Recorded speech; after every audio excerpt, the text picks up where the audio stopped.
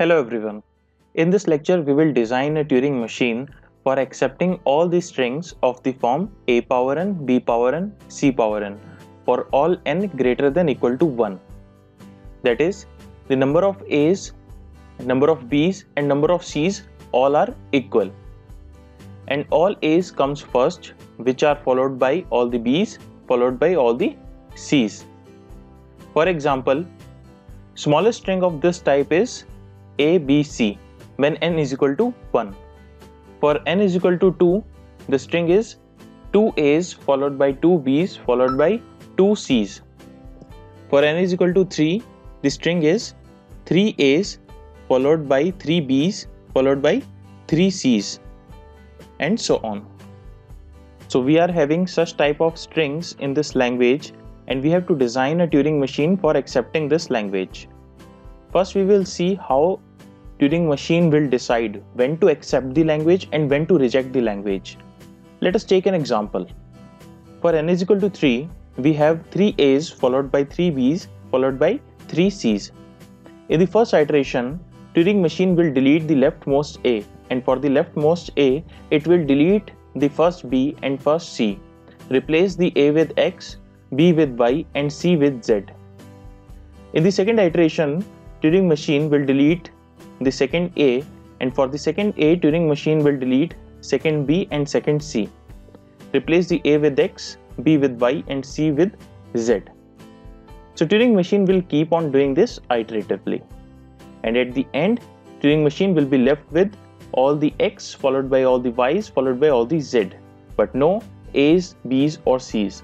That means to A, all the A's, B's and C's should be depleted or we can say vanish together. And if this condition is satisfied, Turing machine will accept this language or accept this string.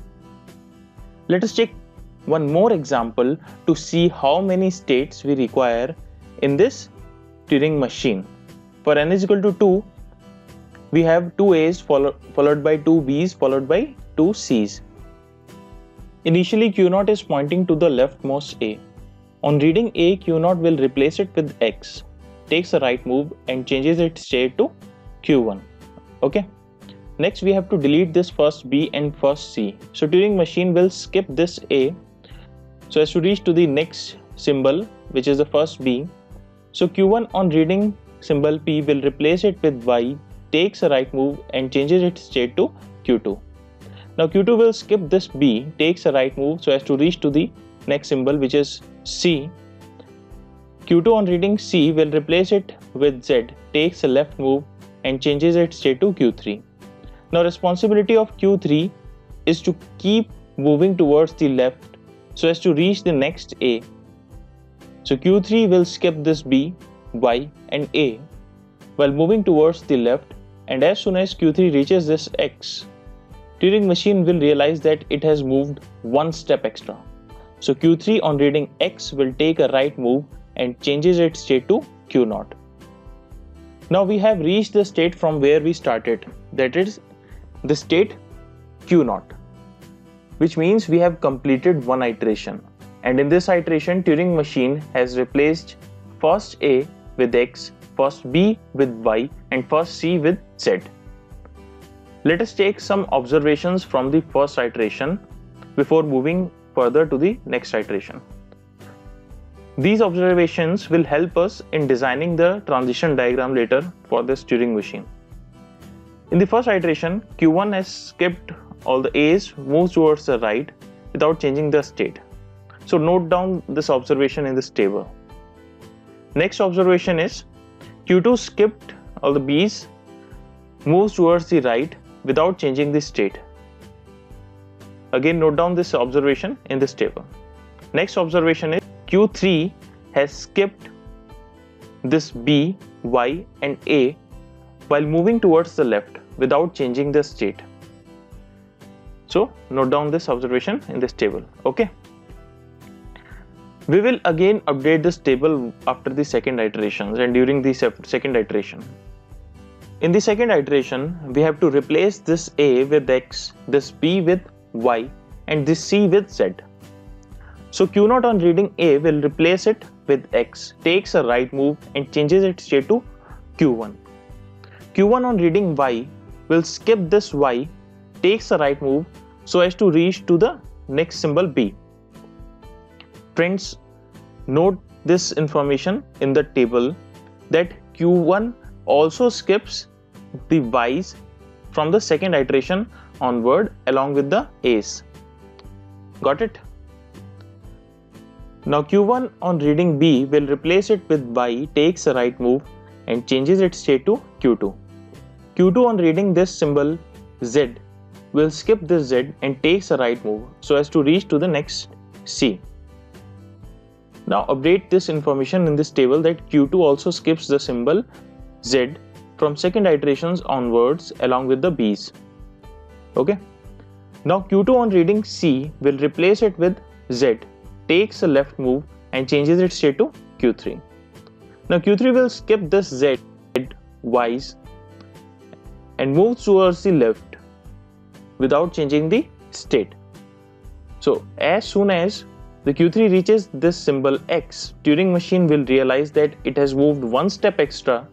So Q3 on reading X will take a right move and changes its state to Q0. Now second iteration is also completed.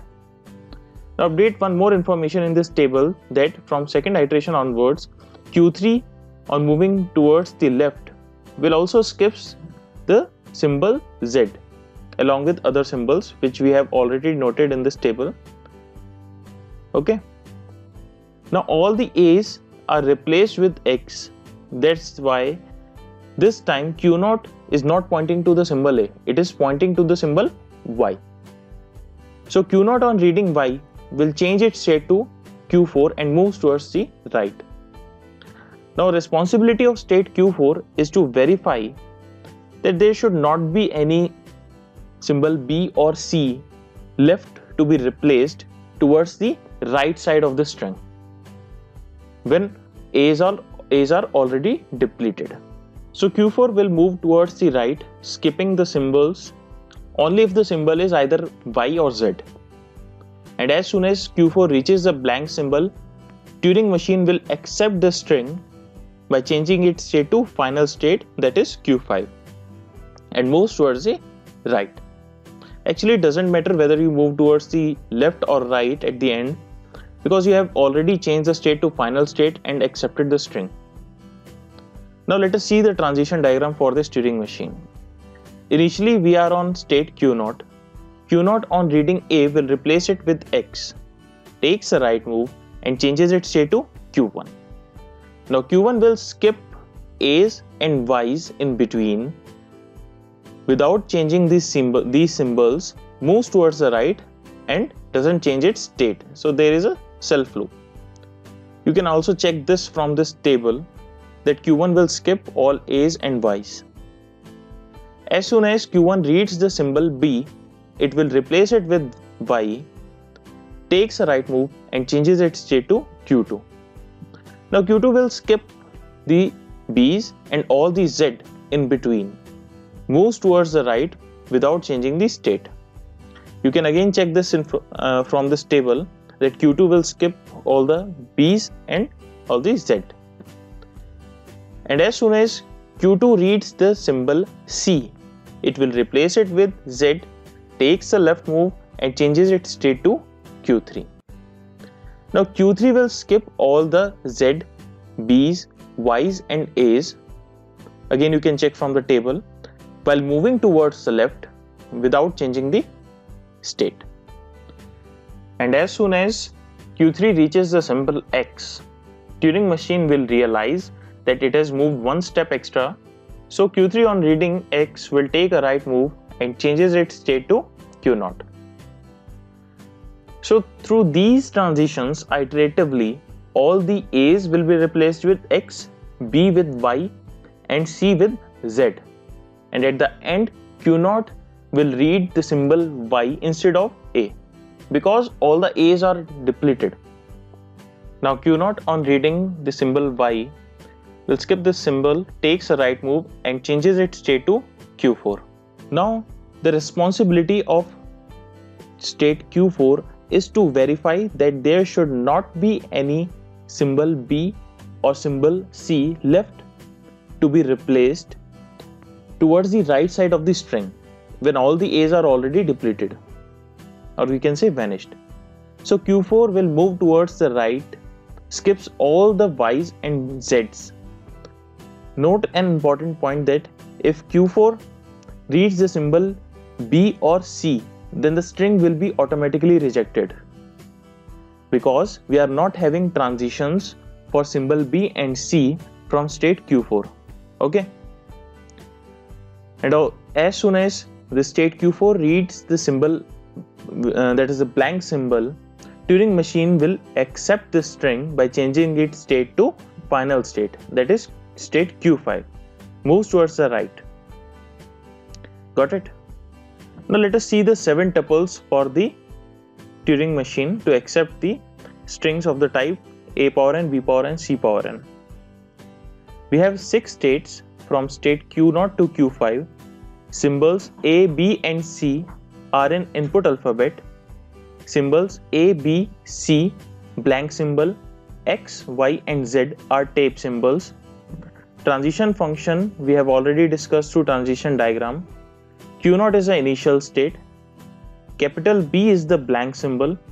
And in the set of final states we have state q5 so that's all in this lecture. If you like the video click on the like button. And don't forget to subscribe the channel for more videos like this. Thank you